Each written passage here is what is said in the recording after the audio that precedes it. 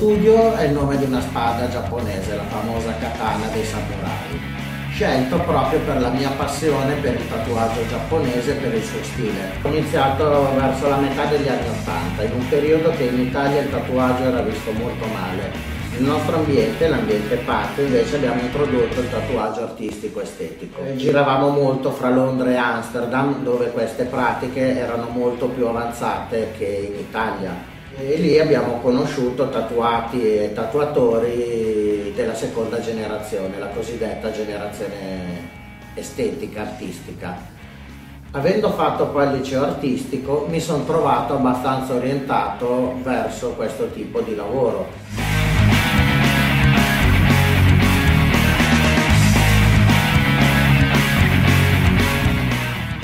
Mi ricordo che mia madre mi diceva non fare questo lavoro, è una moda, prima o poi finisce. E la mia risposta era mamma, le magliette le metti nel cassetto, finita la moda, il tatuaggio non lo puoi mettere in un cassetto. I primi anni non si riusciva a viverci perché comunque le richieste non erano molte.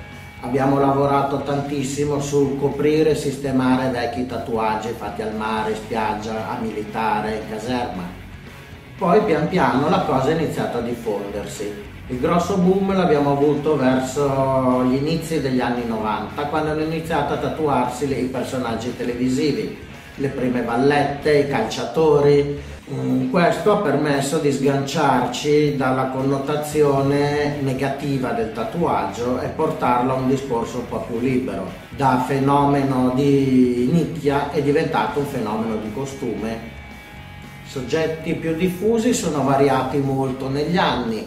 Siamo partiti con il periodo del tribale celtico e dei folletti, siamo passati attraverso i delfini, eh, le lettere cinesi, le stelle, adesso vanno moltissimo le scritte in corsivo, eh, mentre da alcuni anni, e credo che la cosa durerà ancora per molti, molto diffuso il tribale maorio polinesiano negli anni ho provato varie forme di pubblicità, alla fine mi sono reso conto che la pubblicità migliore è il lavoro che viene portato sul corpo dei miei clienti.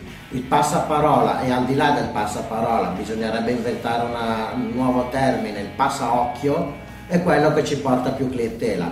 I lavori negli anni comunque rimasti belli addosso alla gente sono quello che mi porta più lavoro di tutti. Più di mille pubblicità, più di mille volantini eh, la gente è soddisfatta, il cliente l'ha fatto vent'anni fa, il lavoro è ancora bello, è sopravvissuto, quindi dimostriamo anche una competenza igienica e una competenza tecnica perché tanti lavori possono essere belli i primi sei mesi e per problemi di attrezzature, di competenza impastarsi, perdere definizione nel giro di poco tempo. Ho partecipato a numerose convention in Italia e all'estero, un bel po' di volte ho vinto, altre volte non ho vinto, a volte ho partecipato alle premiazioni, a volte ho semplicemente tatuato i miei clienti, ho clienti in Svizzera, in Australia, in Francia, in Germania, in Belgio, oltre che naturalmente in Italia.